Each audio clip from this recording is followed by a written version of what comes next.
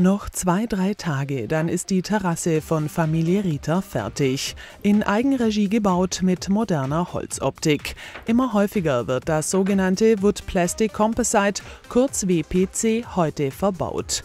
Die Bahnen bestehen aus 75% Kunststoff und 25% Holz oder wie im Falle von Familie Rieter aus 25% Bambus, dem sogenannten BPC.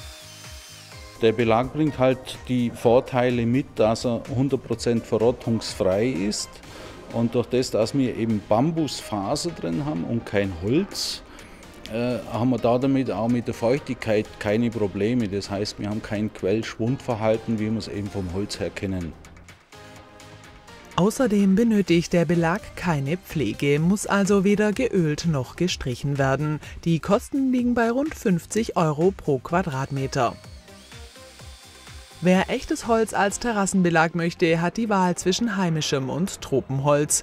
Deutlich resistenter und langlebiger ist Tropenholz. Das beliebteste Terrassenholz ist Bankierei und Stauseeholz aus kontrolliertem Abbau.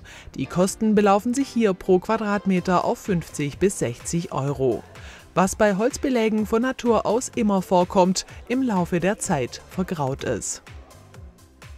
Will ich diesen Vergrauungsprozess eindämmen, äh, hundertprozentig ausschalten kann ich ihn nicht, aber dann sollte ich das Holz natürlich pflegen mit dem Terrassenöl. Und das wäre immer am besten zweimal im Jahr.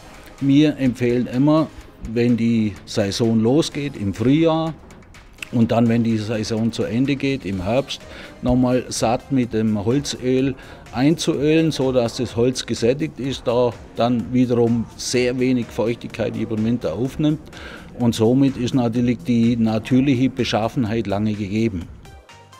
Egal welcher Belag, eine Holzterrasse sollte aus qualitativ hochwertigem Holz gebaut werden, stabil, langlebig und widerstandsfähig sein. Trotzdem gibt es Unterschiede zwischen Holz und Holz-Kunststoffmischung.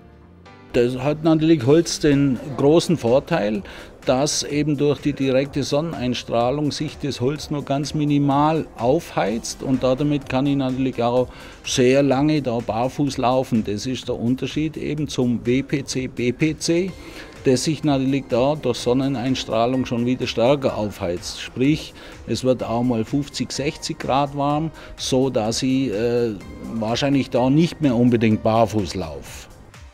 Darauf muss sich Familie Rita im Sommer also einstellen. Dafür splittert das BPC nicht.